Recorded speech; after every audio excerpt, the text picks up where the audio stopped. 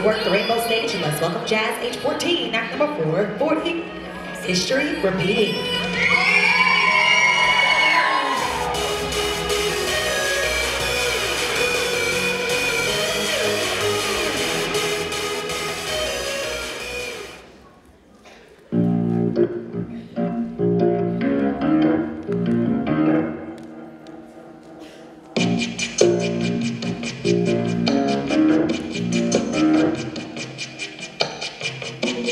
What is it's about.